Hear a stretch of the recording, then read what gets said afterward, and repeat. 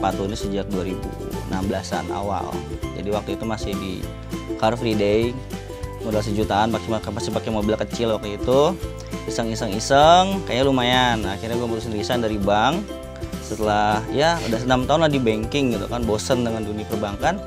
Ya udahlah terjunlah ke sini. Tahu buka toko dulu.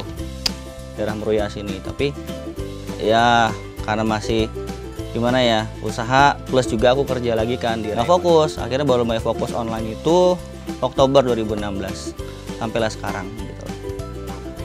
Toko tutup dan fokus di online semua.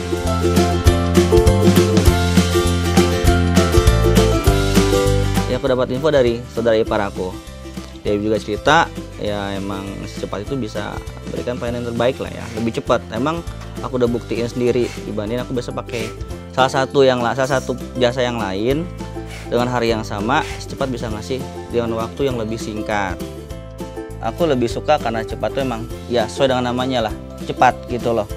Karena di ke daerah lain pun dibandingin sama vendor lain dia emang lebih cepat. Ya kalau aku lihat sih yang udah-udah pelayanannya emang lebih baik si cepat ini. Dan juga pickupnya sampai malam. Aku nggak dapetin dari vendor lain karena rata-rata kan pickup biasa jam 8 malam. Kalau vendor lain biasa cuma sampai jam 5 apa jam 6 yang kita tahu maksudnya online store kan kadang pak orderan tuh sore itu malah makin rame gitu loh. Pas siang mas slow gitu kan.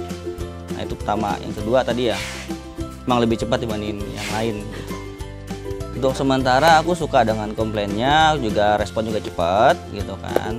Apalagi ya lebih apa ya kalau bandingin sama yang lain ada salah satu tuh vendor lain ya untuk ini masalah komplain ya. Cepat memang lebih baik. Kedua buat buat pick up juga lebih cepat. Karena beberapa ada vendor lain juga kan kayak apa ya? Jadi dicatat dulu di sini kan butuh waktu ya. Males banget gitu loh. Dan dan juga untuk untuk resi kan dia langsung ya malam itu juga langsung keluar pas secepatnya semalam malam hari juga dia langsung keluar secepat.